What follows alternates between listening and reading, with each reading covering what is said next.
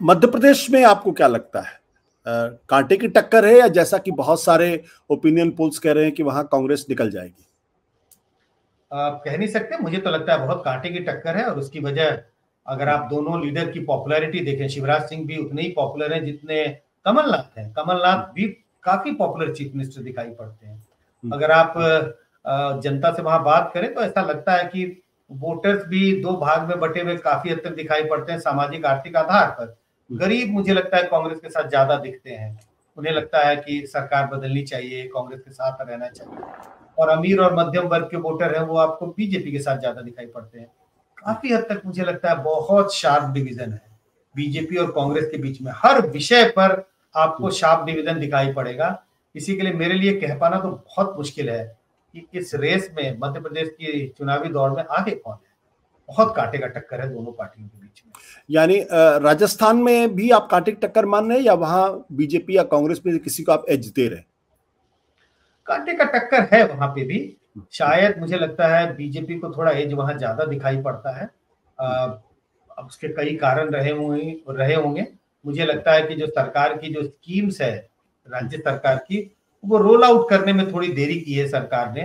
तो उसकी रीच उतनी नहीं है जितनी की लाडली लक्ष्मी योजना लाडली बहना योजना जो है इस तरह की योजनाओं की जितनी रीच या केंद्र सरकार की रीच केंद्र सरकार की योजनाओं की रीच देखिए आशुतोष हर राज्यों में क्या हो रहा है हम्म। अगर बीजेपी की सरकार जहाँ थी जैसे मध्य प्रदेश में अगर सरकार से थोड़ी बहुत भी अगर नाराज़गी है थोड़ी बहुत भी अगर नाराज़गी है उसकी भरपाई केंद्र की मोदी सरकार कर रही है क्योंकि हम्म। मोदी सरकार से लोगों की की संतुष्टि बहुत ज़्यादा है तीनों राज्यों में केंद्र राज्य सरकार के कामकाज से आप संतुष्ट हैं लेकिन केंद्र की नरेंद्र मोदी सरकार के कामकाज से संतुष्टि राज्य सरकार के कामकाज से कहीं ज़्यादा है हम्म। तो अगर राज्य की कांग्रेस सरकार ने छत्तीसगढ़ में अच्छा भी काम किया लेकिन अगर बीजेपी चुनौती दे रही है तो उसकी हम्म। वजह राज्य की बीजेपी ना भी हो तो केंद्र सरकार का जो काम है प्रधानमंत्री मोदी के बारे में की जो छवि है और हम्म। केंद्र सरकार का जो काम है उसके चलते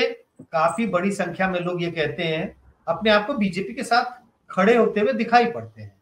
तो हम्म। इस वजह से राज्यों में तीनों राज्यों में एक तरह से बीजेपी और कांग्रेस मुकाबला कर रही है कोई एक तरफा हम्म। चुनाव ऐसा नहीं दिखता। अब हो सकता है आप कह सकते हैं कि छत्तीसगढ़ में तो अमूमन ये माना जा रहा है कि कांग्रेस आगे चल रही है। मुझे भी ऐसा लगता है कांग्रेस आगे चल रही है।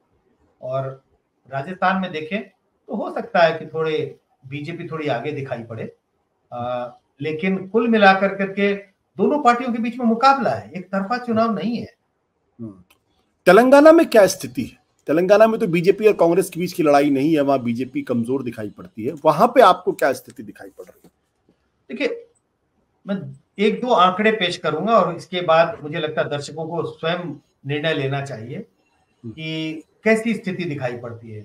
अगर आप देखें तेलंगाना में पिछले चुनाव में विनर पार्टी उस वक्त टीआरएस थी, अब उसको हम बीआरएस कहते हैं, भारतीय राष्ट्रीय समिति और कांग्रेस। दोनों के बीच में साढ़े अट्ठारह परसेंट वोट का डिफरेंस था। टीआरएस ने सिर्फ़ चुनाव ही नहीं जीता था, बड़ी तादाद, बड़ी बड़ी भारी जीत थी, जिसको कहते हैं मैसिव विक्ट्री अगर इतनी बड़ी विक्ट्री किसी पार्टी ने की है पिछले चुनाव में तो जो भी उसका प्रतिद्वंदी है, कांग्रेस नियरेस्ट राइवल है ये मुझे यूपी के जैसी स्थिति दिखाई पड़ती है। जब यूपी के भी चुनाव हो रहे थे तो बार बार ये लगता था कि भाई समाजवादी पार्टी तो बहुत अच्छा कर रही है, उसका प्रदर्शन बहुत अच्छा है, फ्रैक्चर बहुत अच्छा है। लेकिन गैप बहुत था दोनों पार्टियों के बीच में, ग्यारह परसेंट का गैप था पिछले चुनाव में। और मुझे लगता था उस वक्त की वो भरपाई कर पाना इनके लिए मुश्किल होगा। तेलंगाना में भी मुझे कुछ ऐसा ही होता हुआ दिखाई पड़ता है।